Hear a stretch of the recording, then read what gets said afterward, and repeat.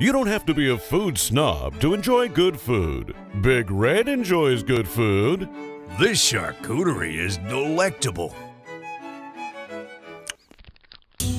Good food in York Durham headwaters. Unexpectedly attainable.